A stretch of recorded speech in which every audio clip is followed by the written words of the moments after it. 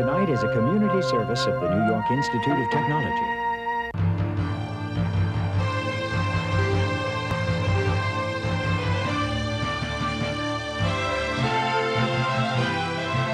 Covering the news of Nassau and Suffolk counties, Long Island News Tonight with Ken Eckhart, Carol Peck, and the award-winning LI News team. Good evening. I'm Ken Eckhart, and here's what's happening. A Long Island driver has been arrested on a DWI charge after police say he struck and killed a pedestrian.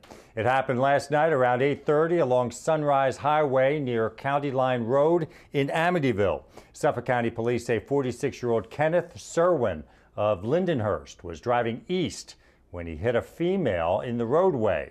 Police have charged him with driving while intoxicated but did not release his blood alcohol level. The victim has been identified as 18 year old Tanyelle Silvera of Amityville. Authorities say she was pronounced dead at the scene. Authorities say a 28 year old central New York man has been accused of fatally shooting his father, a retired Long Island police officer. Police in Trumansburg say Matthew Taranto shot 58 year old Sal Taranto several times in the chest late uh, Tuesday night in the home that he shared with his parents in the Finger Lakes village. Authorities say the shooting happened during a domestic dispute. The victim, Sal Taranto, was reportedly a retired Nassau County police officer. The son, Matthew Taranto, pleaded not guilty to a second degree murder charge and is being held without bail. His lawyer says he acted in self defense after his father threatened him with a gun. A 21 year old Suffolk County man out on probation for a rape conviction is now facing new rape charges. Suffolk County police say 21 year old George Rodriguez of Central Islip was found to have inappropriate photographs and videos on his cell phone. Probation officers seized the cell phone, and an investigation revealed Rodriguez had allegedly been sexually abusing a 16 year old girl taking video and photos of various sex acts he performed with her during the past year. He was arrested on Tuesday. Rodriguez has been on probation since February for a previous rape as a registered level 1 sex offender. Governor Paterson was on Long Island today to break ground on a solar carport project that's expected to produce energy while reducing carbon emissions. Dana Arshan has the story. Governor David Paterson and Suffolk County Executive Steve Levy joined the Long Island Power Authority and two solar companies in Brentwood to break ground on a project to turn seven Suffolk parking lots into solar power lots. It is a win, win, win. It's a win for the environment. It's a win for the county in that we'll receive eight to nine million dollars worth of revenue through the leases, and it's a win for the private entrepreneur. enXco, a wind and solar project developer, is building carports covered by solar panels that will generate electricity. That power will be sold to LIPA for a profit, and the county will receive money in rental fees for leasing the space for the carports to enXco. According to Governor Paterson, the completion of these seven solar power lots will result in the reduction of 14,000 tons of carbon annually. And he says New York has now taken a big step forward to regenerate our economy. When uh, completed and fully utilized, this will be a 17 megawatt producing facility uh, that will uh, be able to light 1,850 homes. The lot should be completed by the end of 2011, and Levy says he's confident his solar county will lead the way to a greener environment because less carbon means less pollution. I believe that this project right here in Suffolk County will serve as a model for the rest of New York State and the rest of the nation moving forward. In Brentwood, Dana Arshan, LI News Tonight. A Long Island woman has been charged with assault in connection with the stabbing of another woman last month. Police say three weeks ago, 36 year old Shalisha Ross of Hempstead went up to a woman she knew in a car along Fulton Avenue in Hempstead. The two reportedly got into an argument, and police say Ross pulled out a knife and stabbed the victim in the neck and chest. The victim was hospitalized for emergency treatment. Ross was arrested last evening, charged with assault and possession of a weapon. Nassau County Police are searching for a man who robbed a taxi driver in North Valley Stream. Police say the suspect got in the cab last night in Laurelton and asked to be driven to a location on North Fletcher Avenue in North Valley Stream.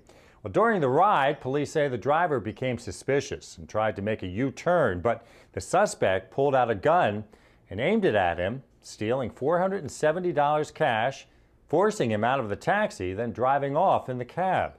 The cab driver was not injured.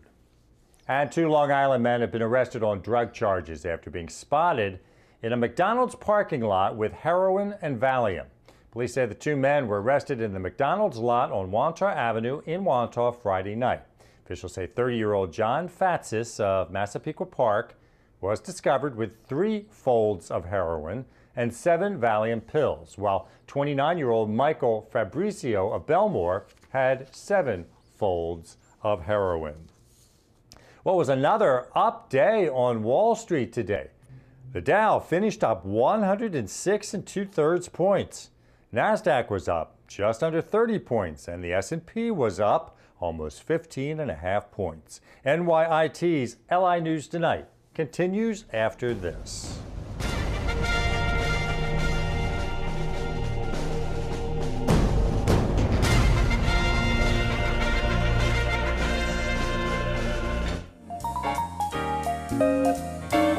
A Knit and Talk support group for women with breast cancer meets at Adelphi University School of Social Work in Garden City on the first Monday of each month from 2:30 to 4 p.m.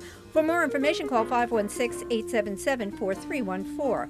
The American Parkinson's Disease Association has a monthly support group at New York Institute of Technology in Old Westbury on the second Friday of the month at 2 p.m.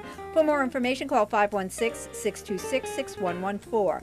The Nassau County Museum of Art presents Family Sunday at the museum in Roslyn Harbor on Sunday afternoons at 1 p.m. For more information, call 516-484-9337. And the North Shore LIJ Health System offers a weekly support group for stroke survivors and caregivers at Plainview Hospital on the fourth Thursday of the month from 2 till 3 p.m. For more information, call 516-719-2411. If you have an event you'd like included on the LI News Tonight community calendar, send it to LI News Tonight at nyit.edu.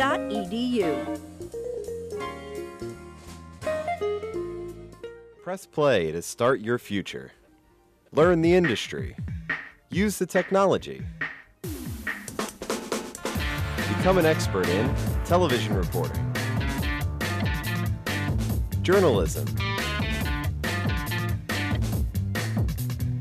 radio, digital film, public relations and advertising, television production, digital graphics, a beautiful state of the art campus, a road to the job you've always wanted in the media capital of the world. Communication Arts at NYIT. When can you start? Some stories around the world today. Qatar has been selected as host of the 2022 World Cup, beating out a bid by the United States to bring soccer's showcase back to America for the first time since 1994. FIFA's executive committee chose Qatar over the U.S., Australia, Japan, and South Korea in a secret vote today. Minutes earlier, Russia was announced as host of the 2018 tournament.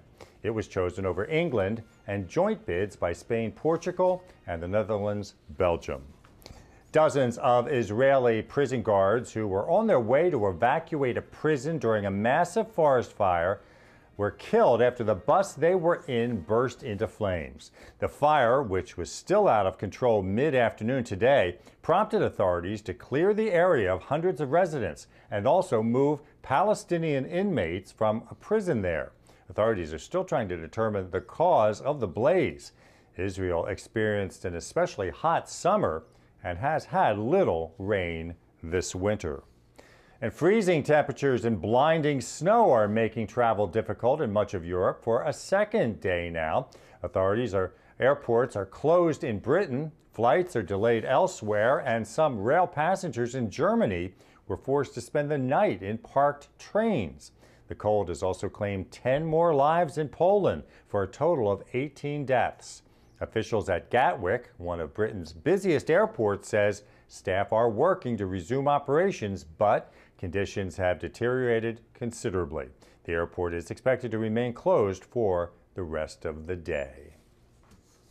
The Fortunoff's Christmas store in Westbury was an annual destination for many Long Islanders for decades. But it disappeared a few years ago when Fortunoff shut its doors and closed its Westbury anchor store. Well, the Fortunoff's Christmas store is now back, as Nicole Stevens reports. Fortunoff's Christmas store is back in business at its backyard stores after the company closed for a year back in May 2009. And customers here at the Westbury location say they're happy to see the Christmas store return for the season. People can't believe that we're back and they're upset that last year there was like no place on Long Island to do our Christmas shopping. This store is fantastic. It has all the items you can get for to decorate your place. Love it. I used to live on Long Island. Walking through Fortunoff's at Christmas was the thing to do and still is. Everybody comes in and just says how happy they are that we're back. So it's actually good to come to work and have people like the fact that you're here. And customers say seeing the Christmas store back in business is a positive symbol of things to come. I knew the economy was in the dumper when Fortunoff's closed. So now I'm very encouraged that it looks like things are turning around and I've got hope for the future again. These times and financial uh, bad times, it's good to see somebody coming back. Helps the economy and it helps the people. According to the store manager, Fortunoff's brought back the best of the best when it comes to Christmas, with the intention to grow as the years go on. You know, as we grow each year, we want to, you know, if we do well for Christmas, which I think we will, we're going to grow bigger next year. So that's what we're trying to achieve, bringing outdoor and Christmas back to Long Island. The Fortunoff Christmas stores will be open throughout the season, but will transform back into outdoor patio showrooms after the holidays. In Westbury, Nicole Stevens, LI News Tonight.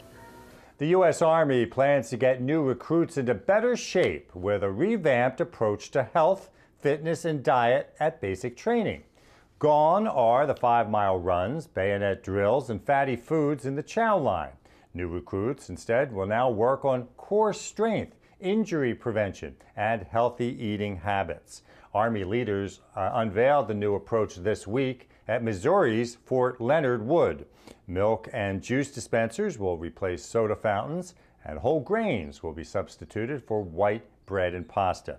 It's said to be the first substantial change to basic fitness training in the Army in 30 years.